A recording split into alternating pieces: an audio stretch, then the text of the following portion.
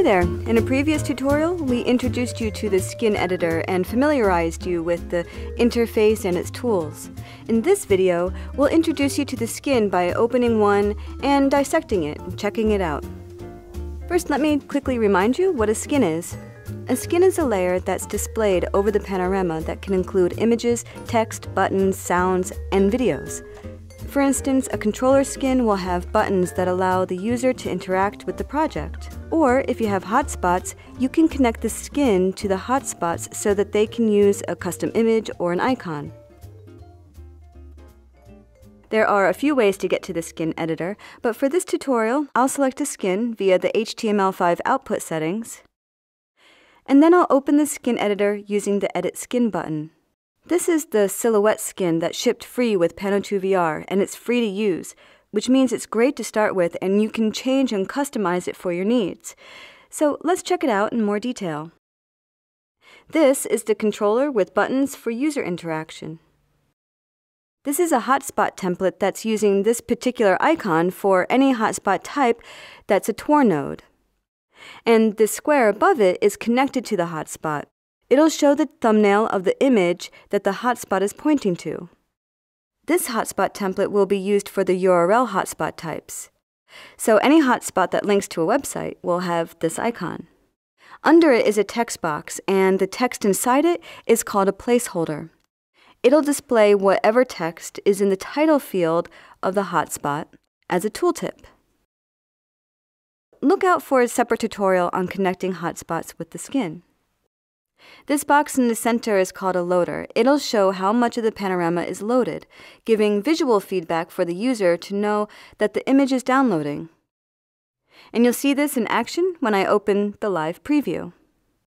The controller buttons are also working and you can see how they change. And we don't see the hotspot images because there aren't any hotspots in the preview. So now in the tree, when I select the hotspot templates or any element that has actions added to it, you'll see the actions table populated to the right. When I select an element in the canvas, I'll also see its actions. The info button, for example, triggers the screen tint and a container that holds the user data info to appear. When I double click here, I can see exactly how this action was made. It tells me that when this button is clicked, the element called user data will have its visibility toggled meaning if it's currently not showing, it'll appear when the info button is clicked. If it's currently showing, it'll disappear when the button is clicked. Here's a container that's being targeted. You can see that it contains a number of text fields using placeholders. Author uses dollar sign $UA, which will use the text that's been added to the author field in user data. And clicking this button here shows you all the available placeholders.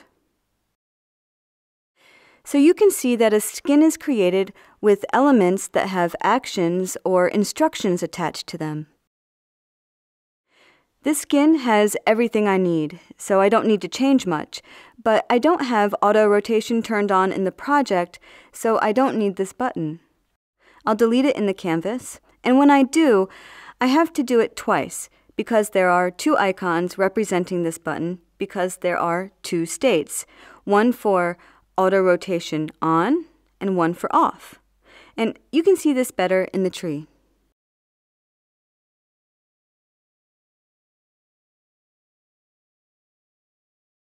Now I have a gap, but I can fix this using Align and Distribute. I'll select all the buttons except for the second state of the Move and full screen buttons. In the canvas, I'll right-click on any selection and choose Distribute, Horizontal Centers. Then, to make sure that the second states are also aligned, I'll select the icon that's in the correct position and then its state. In the canvas, I'll right-click, choose Align Elements, Left Edges, and I'll do this for the full screen buttons too.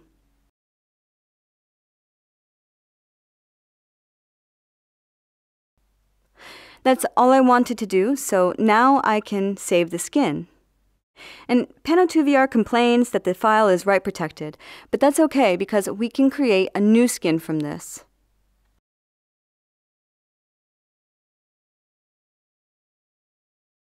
Now I'll output the project.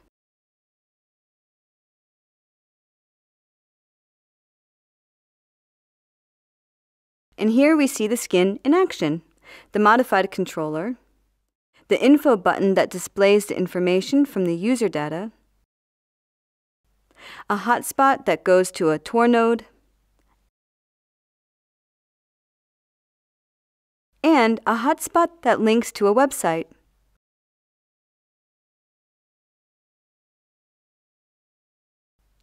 And this hotspot here has an image icon, and so it'll pop up an image. There's a lot you can learn from the built-in skins. Just add them to the project, check out their actions, and try them out. And each skin action is explained in our documentation pages along with some recipes for common actions. The next tutorials will show you how to create a custom skin and how to connect the skins with hotspots.